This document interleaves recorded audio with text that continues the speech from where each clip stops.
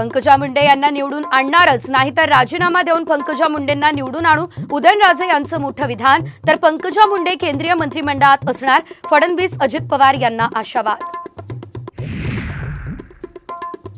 संभाजीनगरमध्ये ठाकरे गट आणि महायुतीचे कार्यकर्ते भिडले. दोन्ही गटांकडून जोरदार घोषणाबाजी.